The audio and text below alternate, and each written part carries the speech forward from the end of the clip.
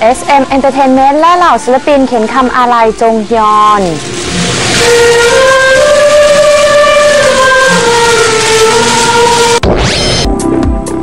มากันที่คำอาลัยนะคะที่เหล่าศิลปินเนี่ยมีต่อจงฮยอนกันค่ะ ครับ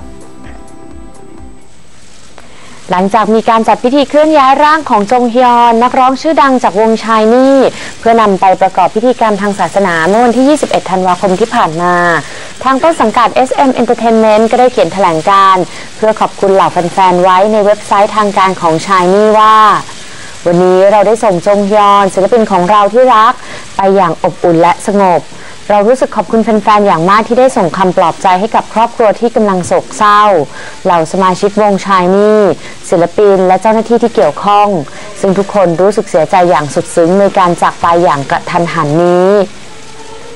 ยิ่งกว่าอะไรก็ตามเราขอขอบคุณแฟนๆที่มาไว้อะไรให้จงฮยอน แม้อากาศจะหนาว นอกจากนี้เรายังขอบคุณเพื่อนร่วมงานของพวกเขา ทั้งรุ่นพี่รุ่นน้องและเจ้าหน้าที่ ที่ปรับตารางเวลาของพวกเขาเพื่อที่จะได้เข้าร่วมไว้อะไรจงฮยอน เนื่องจากความรักของคนจำนวนมาก ดังนั้นเส้นทางสุดท้ายของจงฮยอนจึงไม่เปล่าเปลี่ยวเราเชื่อว่าเพลงและความหลงไหลในเพลงของจงฮยอนและความสามารถในฐานะศิลปิน จะยังคงอยู่ในใจเราตลอดไป ทางด้านยุนโฮ แห่งวงทงบังชิงกินะคะที่ติดการแสดงคอนเสิร์ตที่ประเทศญี่ปุ่นไม่สามารถมาร่วมพิธีศพได้ ก็แสดงความอาลัยอย่างสุดซึ้ง ด้วยการเรียกชื่อของจงฮยอนออกมาระหว่างร้องเพลง Somebody to Love ทำให้แฟนๆ ในคอนเสิร์ตรู้สึกเศร้ากับการสูญเสียของเขาไปด้วย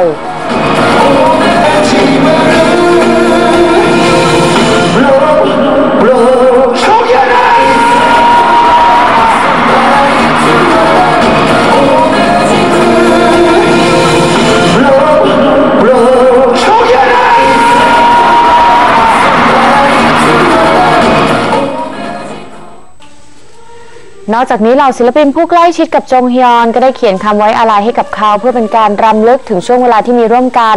เป็นการอำลาจงฮยอนเป็นครั้งสุดท้ายอีกด้วย